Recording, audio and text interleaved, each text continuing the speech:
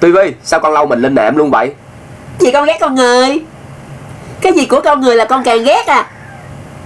À cái mắt Phương Chuyên quay lén mình tấm tiên đây rồi.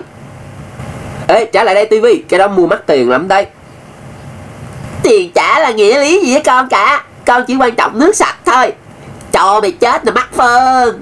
Vì may mà anh chị em lấy cá của ta bị bắt ra bán mỗi ngày khắp nơi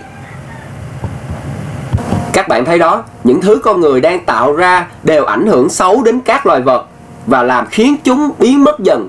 Có trí tuệ lại không biết dùng đó để tu tập giải thoát mà dùng để gây ra những ảnh hưởng xấu đến môi trường và những người đang làm hại động vật mỗi ngày ngoài kia. Tôi phải nói làm sao cho các bạn hiểu mang đến sự bất hạnh cho động vật cũng là mang đến tai ương cho những người bạn yêu thương. Hãy thức tỉnh đi và nhận ra rằng tất cả các loài vật đều là anh chị em của chúng ta.